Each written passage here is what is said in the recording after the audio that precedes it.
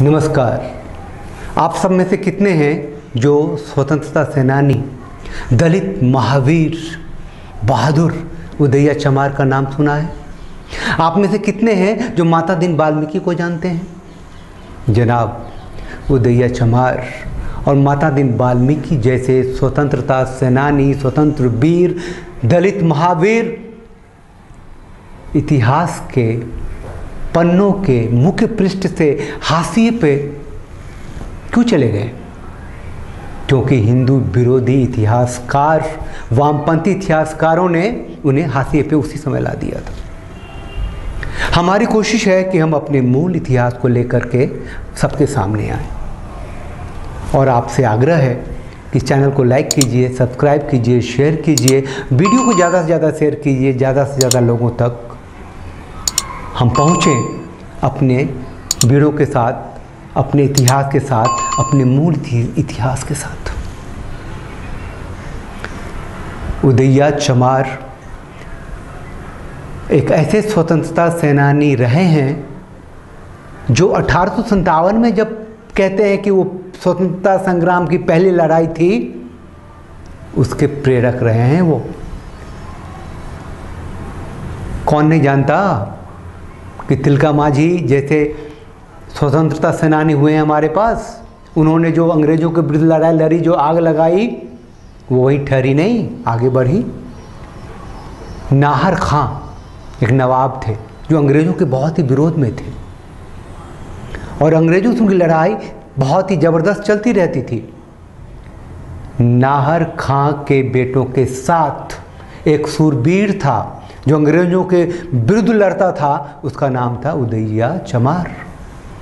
सन 1804 से 1807 के बीच उदैया चमार ने नाहर खां के साथ अंग्रेज़ों के दांत खट्टे कर दिए थे, उनको चने चबा दिए थे।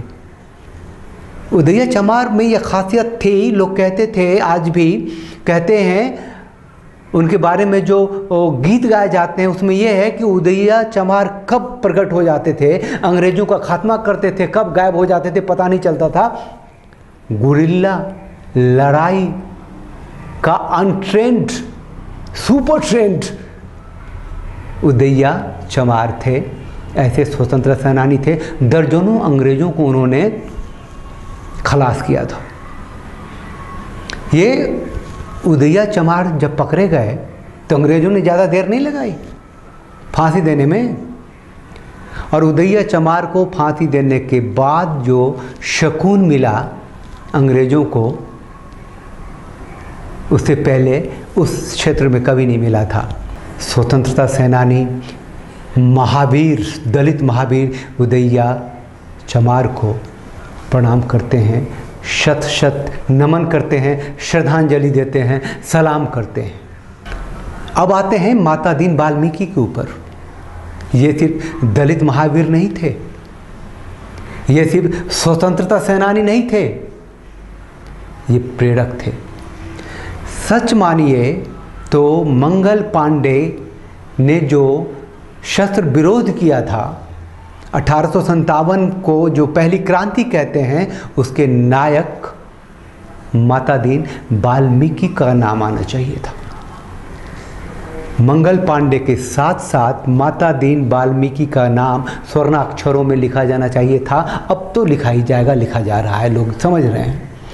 माता दीन वाल्मीकि के पूर्वज अंग्रेज़ों की सेना में काम करते थे और इस कारण इन्हें सेना में खलासी की नौकरी मिल गई बैरकपुर में, जहाँ की कारतूस का निर्माण होता था। कारतूस बनाए जाते थे। वहाँ माता दीन वाल्मीकि ने देखा कि किस तरह चर्बियों से कारतूस बनते हैं, जिसे हिंदू सेना दांत से खींचती है और फिर इस्तेमाल करती है।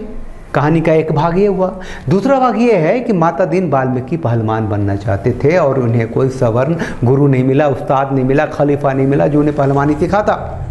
लेकिन उसी सेना का एक इस्लाउद्दीन नाम का एक मुसलमान जो पहलवान भी थे और सेना में बैंड बजाते थे, उन्होंने कहा कि, माता दीन वाल्मीकि, मैं तुमको पहलवानी सिखाऊँगा। तो सेना में खलासी की नौकरी करते हुए आ, माता दिन वाल्मीकि पहलवानी भी सीखने लगे और वहाँ उनकी दोस्ती मंगल पांडे से हुई। एक दिन की बात है मंगल पांडे बहुत अच्छे दोस्त हो गए माता दीन वाल्मीकि मंगल पांडे लेकिन जब मंगल पांडे को ये पता चला कि माता दीन तो दलित है तो उनका व्यवहार बदल गया। ये मैं इसीलिए बता रहा हूँ कि आज की तारीख में भी ये समस्या हमारे यहाँ है। चाहे बहुत थोड़ा ही क्यों ना हो। अंबेडकर साहब के संविधान के निर्माण के बाद, आरक्षण आने के बाद लोगों में जन जागृति हुई, चेतना जागी और आज समाज लगभग बराबरी की स्थिति में आ गया है।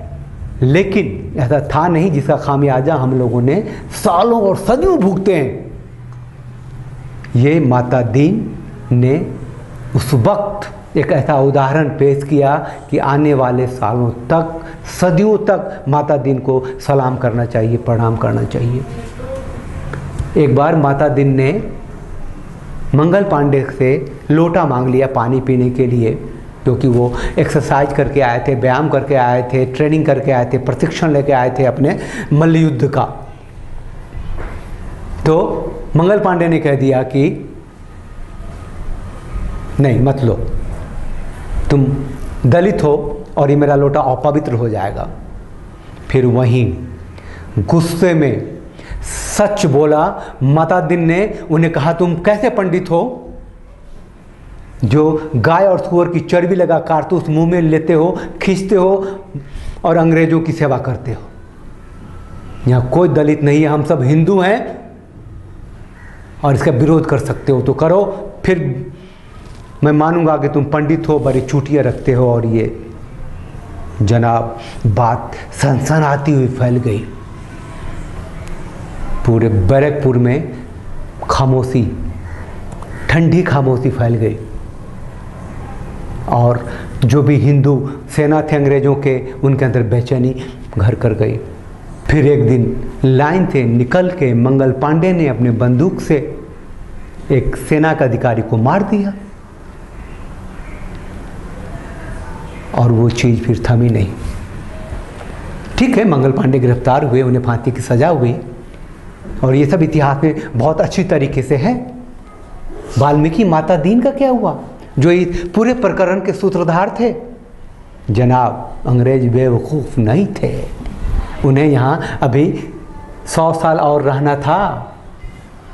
उन्होंने वाल्मीकि माता दीन को भी गिरफ़्तार किया और वाल्मीकि माता दीन को भी फांसी की सज़ा मिली। लेकिन इतिहास के मुख्य पन्नों पे वाल्मीकि माता दीन क्यों नहीं है? तो हमने आज उदैया चमार की कहानी सुनी, वाल्मीकि माता दीन की कहानी सुनी। इन सूरवीरों को, इन स्वतंत्रता सेनानियों को इन दलित महावीरों को हम प्रणाम करते हैं, शस्त्र नमन करते हैं, श्रद्धांजलि देते हैं, सलाम करते हैं। जय हिंद।